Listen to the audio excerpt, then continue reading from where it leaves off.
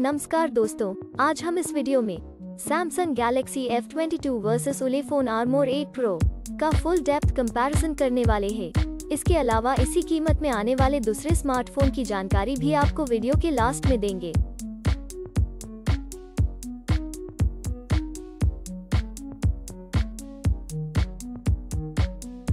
सबसे पहले बात करते हैं दोनों फ़ोन के डायमेंशन की दोनों फ़ोन की लेंथ की बात करें तो Galaxy F22 में 6.3 इंच जबकि Armor 8 प्रो में 6.54 इंच की लेंथ मिलती है। विथ की बात करें तो Galaxy F22 में 2.91 इंच जबकि Armor 8 प्रो में 3.22 इंच की विथ मिलती है। बात करें थिकनेस की तो Galaxy F22 में 0.37 इंच जबकि Armor 8 प्रो में 0.59 इंच की थिकनेस मिलती है, जो कि Galaxy F22 से ज़्यादा है। अब बात करते हैं वेट की तो। Galaxy F22 में 203 ग्राम जबकि Armor 8 प्रो में 282 ग्राम का वेट देखने को मिलता है, जो कि Galaxy F22 से ज़्यादा है। तो चलिए अब हम डिस्प्ले को कंपेयर करते हैं। डिस्प्ले टाइप की बात करें तो Galaxy F22 में सुपर ए AMOLED जबकि Armor 8 प्रो में IPS LCD की डिस्प्ले मिलती है। डिस्प्ले टाइप की बात करें तो दोनों फ़ोन में सेम ही। Galaxy F22 में 20 रेशियो 9 जबकि Armor 8 प्रो में 19.5 रेशियो 9 मिलता है। डिस्प्ले साइज़ की बात करें तो Galaxy F22 में 6.4 इंचेस जबकि Armor 8 प्रो में 6.1 इंचेस मिलती है। डिस्प्ले रेजोल्यूशन Galaxy F22 में 720 by 1600 और Armor 8 प्रो में 720 by 1560 मिलता है। Screen to body ratio Galaxy F22 में तिरासी दशमलव पाँच दो प्रतिशत, जबकि Armor 8 प्रो में सड़सठ दशमलव एक दो प्रतिशत मिलता है।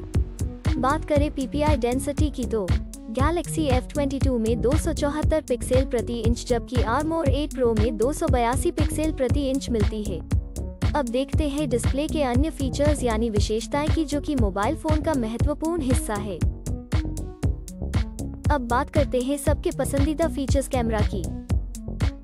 दोस्तों, सबसे पहले बात करें मैन कैमरा की तो Galaxy F22 में चार कैमरा देखने को मिलता है, जिसमें कि primary camera ultra wide angle camera macro camera और आखिर में डेप्थ कैमरा देखने को मिलता है। और आर्मोर 8 प्रो की बात करें तो इसमें भी हमें चार कैमरा देखने को मिलता है, जिसमें कि wide angle primary camera macro camera depth camera देखने को मिलता है। बात करें वीडियो कैमरा की तो Galaxy F22 में सात डिफरेंट टाइप के फीचर्स मिल जाते हैं। और Armor 8 प्रो की बात करें तो उसमें आठ डिफरेंट टाइप के फीचर्स मिल जाते हैं। अब बात करें फ्रंट कैमरा यानी कि सेल्फी कैमरा की तो दोनों फ़ोन में। सिंगल कैमरा देखने को मिलता है, जिसमें कि पाँच डिफरेंट फीचर्स मिलते हैं। आइए अब बात करते हैं हार्डवेयर के बारे में जिसमें हम सीपीयू, जीपीयू, रैम की इंफॉर्मेशन देखते हैं। हार्डवेयर में सबसे पहले सीपीयू जो कि स्पीड के हिसाब से देखा जाए तो फ़ोन में सबसे इम्पोर्टेंट पार्ट है उसकी डिटेल्स देखते हैं। जीपीयू की बात करें तो Galaxy F22 में माली G52 MC2 जबकि Armor 8 प्रो में माली G72 MP3 मिलता है। चिपसेट की बात करें तो Galaxy F22 में मीडिया MediaTek Helio G80 और Armor 8 प्रो में MediaTek Helio P60 मिलता है।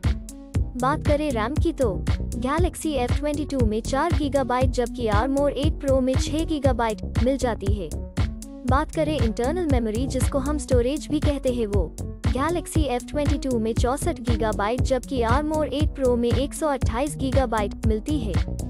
एक्सपैंडेबल मेमोरी की बात करें तो Galaxy F22 में अप टू 1 टेराबाइट जबकि Armor 8 Pro में अप टू 256 गीगाबाइट है। ऑपरेटिंग सिस्टम दोनों फ़ोन में, Android V11 देखने को मिलती है। बैटरी Galaxy F22 में 6000 mAh जबकि Armor 8 Pro में 5580 mAh देखने को मिलती है। आइए अब मेन फीचर को देखते हैं।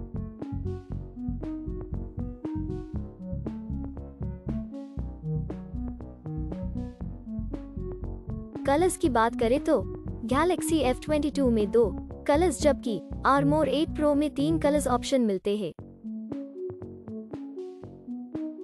सब इन्फॉर्मेशन देखने के बाद बात करें प्राइस की तो Galaxy F22 की बारह हज़ार चार सौ निन्यानवे रूपीज जबकि Armor 8 प्रो की छब्बीस हज़ार पाँच सौ रूपीज प्राइस है, जो कि गैलेक्सी F22 से ज़्यादा है।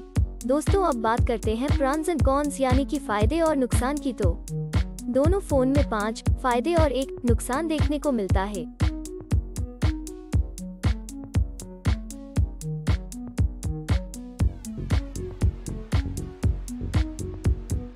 फाइनली बात करें है रिज़ल्ट की तो। डिस्प्ले में गैलेक्सी F22 आगे है। मेन कैमरा में गैलेक्सी F22 आगे है। फ्रंट सेल्फी कैमरा में दोनों फ़ोन सेम ही है। परफॉर्मेंस में दोनों फ़ोन सेम ही है। इंटरनल मेमोरी में आर्मोर 8 प्रो आगे है। दोस्तों, अब हम सेम प्राइस में आने वाले दूसरे फ़ोन को भी देख लेते हैं। पहले कॉम्पिटिटर फ़ोन की बात करें तो उसमें Realme Nazo 30 है, जो कि बारह हज़ार चार सौ निन्यानवे रूपए में मिलता है। दूसरा है जो कि चौदह हज़ार आठ सौ नब्बे रूपए में मिलता है। तीसरा है जो कि चौदह हज़ार नौ सौ नब्बे रूपए में मिलता है। और लास्ट कॉम्पिटिटर फ़ोन की बात करें तो उसमें Samsung Galaxy A zero two S है। जो कि तेरह हज़ार दो सौ दस रुपीज़ में मिलता है और ये सारे फ़ोन की डिटेल्स आपको डिस्क्रिप्शन में मिल जाएगी।